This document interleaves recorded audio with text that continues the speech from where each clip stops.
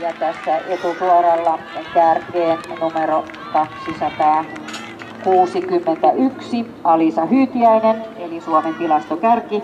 Ja tytöillä tällä hetkellä matkaa maaliin kaksi kierrosta.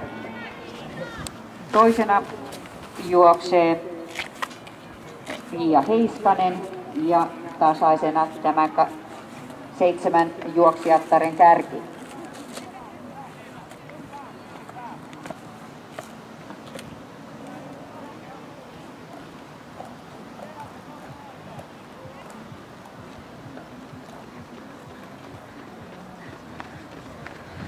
Moukari, Moukari ringissä kustaa Toivola Töysän veto, kuudennen kierroksen heitto.